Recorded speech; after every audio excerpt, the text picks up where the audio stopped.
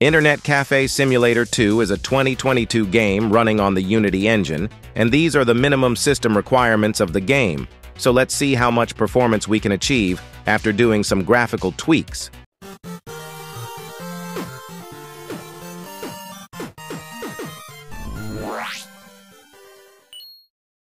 Starting by slashing the resolution to 720p and setting everything else to rock bottom.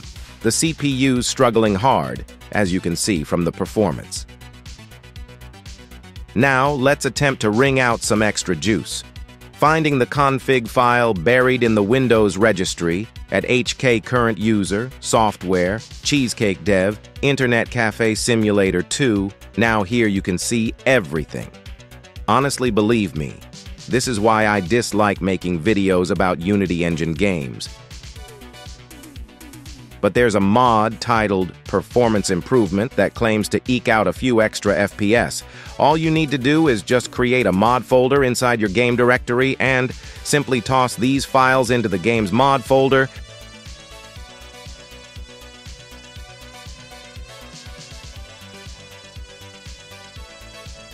Admittedly, my FPS is taking a nosedive due to the screen recording setup, so you might not see a dramatic difference. However, if you've got an older or newer NVIDIA card lying around, NVIDIA Inspector might just save the day. So all you need to do is just create a new profile,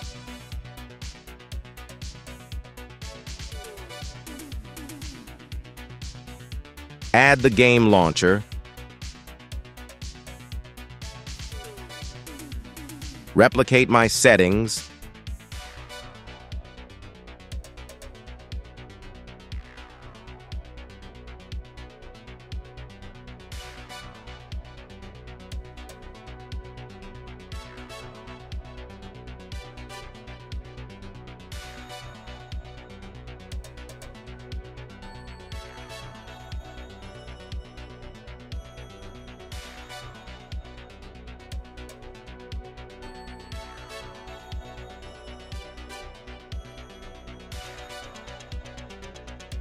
and hit Apply Changes.